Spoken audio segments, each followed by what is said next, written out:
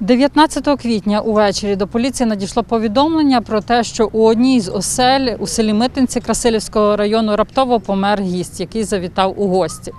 На місце події одразу виїхала слідчо-оперативна група, яка встановила, що причиною смерті ймовірно стало поранення у області грудної клітини. Цю саму версію підтвердив згодом і судово-медичний експерт. Як з'ясували правоохоронці, напередодні чоловік прийшов у гості до своєї колишньої дружини і разом з її співмешканцем розпивав алкогольні напої.